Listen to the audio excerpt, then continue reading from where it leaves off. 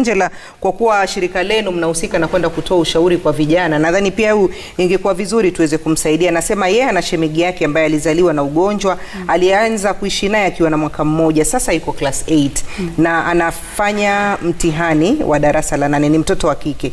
Anasema anaenda naye kuchukua dawa na hajawahi kumwambia zile dawa ni za nini mm. lakini mwezi jana alipokwenda naye hospitali, daktari alilazimisha kwamba lazima aambiwe kwa sababu amekuwa mkubwa, lakini yeye ambaye ni mlezi wake anasema alikataa kwa kuwa anahofia kwamba huyu mtoto anafanya mtihani. Je, wewe kwa mtazamo wako, kwa experience yako, unadhani mtoto ambaye amezaliwa na ugonjwa huu anastahili kuambiwa akiwa umri gani?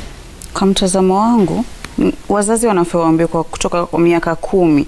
Hapo mm -hmm. mwanafunzi waweza elewa hata HIV ni nini, na pia pale shuleni kuna subject inaitwa science, pia washa washakuwa introduced wakaambiwa ukimwi ni nini, madhara yake yaletwa kivipi, waweza ipata kivipi, ushaona Alafu pia huyu mzazi mimi naona hapa sio wakati mzuri kumwambia saa hii. Yaweza yaweza muaffect wakati wake wa mtihani, akuwe na hiyo stress, kwa nini saa hii, kwa nini mimi, kwa nini sikuambiwa mapema. Sasa hayo maswali yote yatafanya tu mwanafunzi hasi, asikuwe na matokeo mazuri kwa huu mtihani wake wa KCPE. Kama hangetulia, angoje mpaka saa zile saa zile huyu mwanafunzi ashafanya mtihani, wampeleke hata wakivinjari tu yeye mzazi mm -hmm. na mwanafunzi, waende wakiwa tu pahali wamekaa wamerelax, alafu wamwambie kwa utaratibu na hamfanye aelewe na kujikubali. Mm -hmm. Ndio. Kwa hivyo kwa sasa mtoto awachwe afanye mtihani Yeah, kisha baadaye aweze. Aa, nadhani jibu la, jab- jibu umelipata la swali lako. Nije kwako Edgar. Huyu mwingine anasema mimi natoka Busia County na nilipimwa mwisho wa 2016. Natamani sana kwenda kujua hali yangu tena lakini naogopa. Nitafanya nini? Ana miaka 20. Uh, kama ana miaka ishirini kuna ule utaratibu ambao mtu anafuata ndipo aweze kupimwa unapitisha unapitishwa counseling unaambiwa kile ambacho unatarajiwa kufanya iwapo matokeo yatakuwa ndivyo sivyo mm -hmm. kile ambacho utafanya iwapo matokeo yatakuwa vile unavyotarajia Mm -hmm. kwa hivyo na si ningesema kupenda ningependa kusema kwamba aende ajijue mm -hmm. kwa sababu iwapo wanasema usilolijua aliwezi kukudhuru lakini ifikapo katika ugonjwa wa ukimwi mm -hmm. usilolijua litakudhuru kwa hivyo aende ajue mapema awe- aweze kuwekwa katika uh, matibabu kama atakuwa ameambukizwa. Kama atakuwa ameambukizwa. Haya, na kuna mtazamaji mmoja hapa anasema anajiita Amina, anapiga simu kutoka Mombasa, anataka kuzungumza nasi ili atueleze uh, uhalisia wa mambo yalivyo, maanake anatuambia huku Mombasa mambo ni zaidi. Amina, pengine ni kipi ambacho kinakufanya wewe ili uweze kusema kwamba Mombasa mambo si sawa kuhusiana na ugonjwa huo? Huku watu ni shida ni kuwa hawataki kwenda kupimwa. Mm,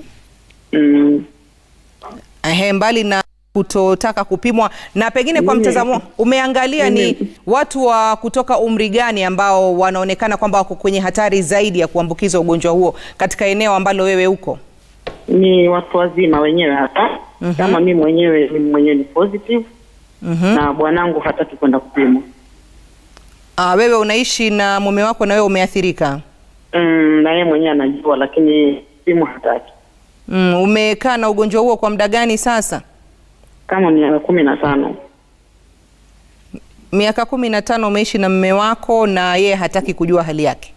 E, na niko na watoto watatu Aha. na anaishi vizuri sababu natumia dawa.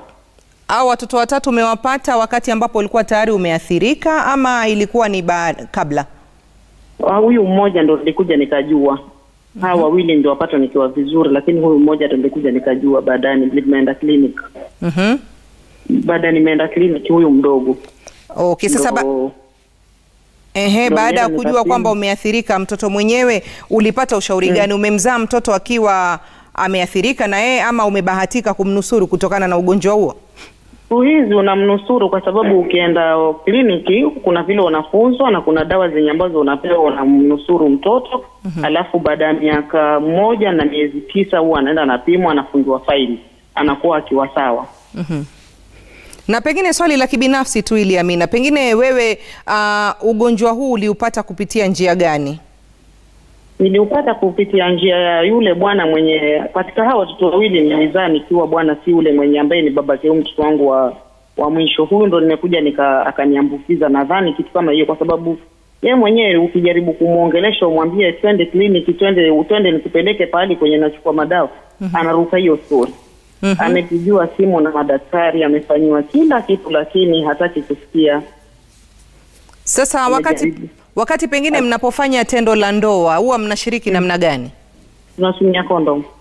Ah, na yeye yuko sawa. Wakati unamwambia tushiriki na mpira yuko sawa, lakini kwenda kupimwa ndio yuko sawa kabisa. Yuko Eh. sawa kabisa.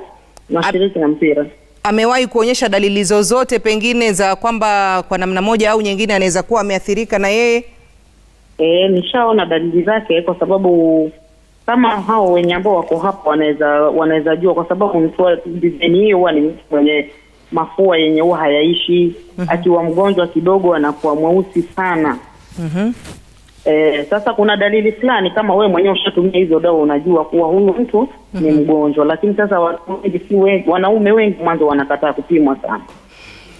Pole sana Amina kwa hilo. Na pengine kabla ya kukata simu, wewe kama mwanamke ambaye umejikuta katika hali hiyo, una mipango mm. gani ama unafanya kitu gani ili kuweza kuwanusuru wengine na haswa vijana na haswa watoto wa kike ambao wameonekana kuathirika zaidi na ugonjwa huo? Mimi ningetamani hata kuwa serikali inaweza kunijumuisha na mimi pia nikashirikisha kuwajuza kuwa- kuwajuza wanawake ambao maybe mabwana zao walifariki ama wapo ni single mother. Wajua vitu kama hivyo vina vinatokea kwa sababu mtu maybe bwana yuko hai lakini anahangaika, mm-hmm. mwanaume hakushughulikii, wao unahangaika kulipa ma school fees nani. Nafikiri unaelewa mwana nani mwana jamadi vile vile mimi nakueleza ndo mtu unajikuta pahali kama hapo Mm. Eh, lakini ningeweza ku- kushauriwa maybe ama serikali ingeweza kututambua kama sisi pia. Mm -hmm. kwa sababu kama sahizi mtu unakaa kwa nyumba huna kazi. Ushaelewa unanyanyaswa pia ndani ya nyumba unakaa na mtu mwenye ambaye anakupatia pesa lakini ni ile ya chakula. Mm -hmm. lakini ukitaka hata mambo mengine huwezi ukafanya. Sawa sawa, Amina, kilio chako tumekisikia na tunaomba kwamba utakuwa ni mwenye kusaidika, na pia asante mm. sana kwa kuweza kujitokeza na kutoa mawaidha yako kwa wale ambao wameathirika pia, na wale ambao wa- watakuwa hawajaathirika basi waweze kujikinga, maanake kujipata katika hali kama hiyo, mtazamaji, si jambo ambalo ni zuri.